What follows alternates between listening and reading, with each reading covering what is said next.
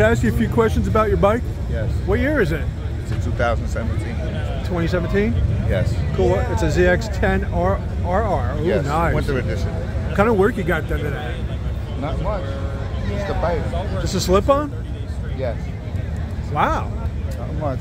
That's amazing. I didn't even flash it yet. What kind of numbers you think you're going to pull out I of have the slightest idea. No idea?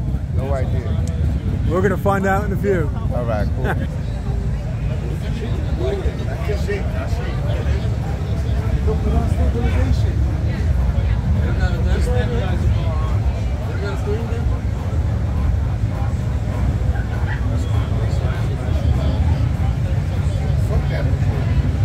Ha, ha, ha.